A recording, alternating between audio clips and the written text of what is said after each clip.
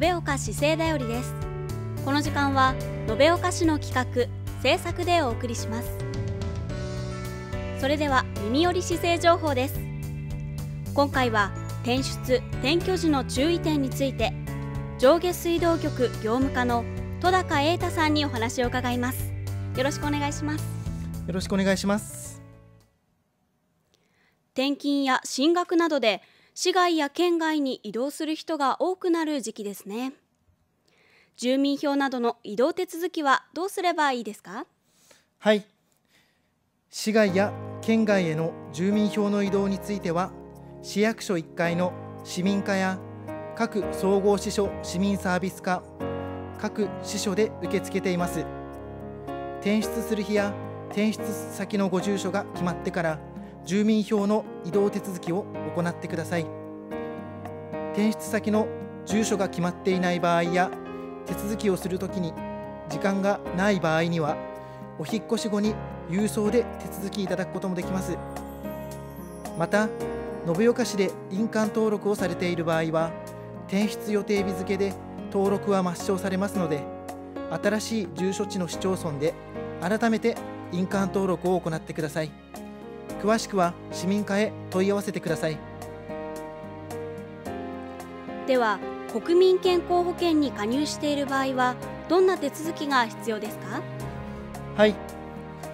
国民健康保険に加入している場合は市役所1階の国民健康保険課に保険証をお返しください。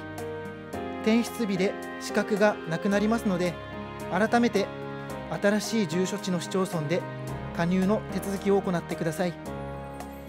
大学などへ進学のために市外に転出する場合には学生の遠隔地非保険者の届け出が必要になります。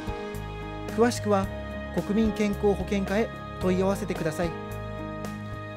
この他にもご覧の項目に該当される場合は手続きが必要になりますので各担当課で手続きを行ってください。さまざまな手続きが必要ですね。引っ越しする場合は水道などのライフラインの手続きも忘れないようにしなければなりませんね。そうですね。まず引っ越しする日が決まりましたら上下水道局へご連絡ください。水道をご契約されている人のお名前引っ越し先の住所や連絡先などを伺い水道中止の手続きをします。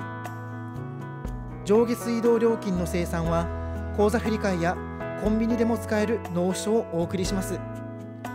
また電気やガスを使用している場合は九州電力や各ガス業者で手続きをお願いいたします。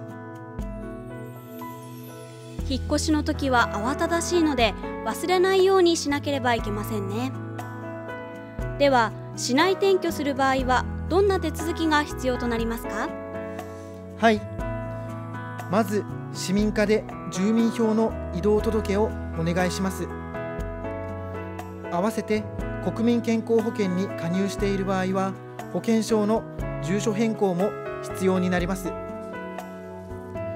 上下水道については現在お住まいの場所の水道使用中止の手続きと転居先の水道使用開始の手続きが必要になります。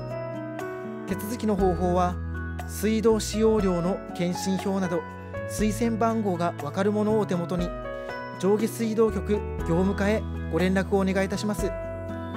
また電気やガスをガスを使用している場合には九州電力や各ガス業者で手続きをお願いいたします。この時期は時間外窓口や土日も窓口を開設するそうですね。はい年度末や年度初めには市民サービス向上のために平日の時間外や土日でも窓口の方を開設します。期間は3月の23日木曜日から4月の5日水曜日までです。平日は午後7時までを時間を延長し土日は8時30分から午後5時15分まで窓口を開設します。対象となるのは住民移動届や各種手当など転出・転居する際に必要な手続きでご覧の課が窓口を開設します。詳しくは広報延岡3月号をご覧になるか各課までお問い合わせください。市民の皆さんにはご不便をおかけいたしますがご理解とご協力をお願いいたします。今回は上下水道局業務課戸高瑛太さんに転出・転居時の注意点について紹介していただきました。ありがとうございました。ありがとうございました。最後に延岡市役所からのお知らせです。市政広報番組延岡市政だよりの放送時間放送内容が4月1日より変わります放送時間は毎日2回。月曜から金曜が午後6時27分と午後9時。土曜日曜が午後5時30分と午後8時57分。それぞれ3分間の放送となります。特に市民の皆様の関心の高いイベント情報や各種制度のご紹介。皆様への注意喚起などを毎月1日11日21日に内容を更新し放送します。番組の形は変わりますが皆様のニーズに合った情報をお届けしますのでこれからも延岡市政だよりをよろしくお願いいたします。この時間は延岡市の企画制作で延岡市政だよりをお送りしました。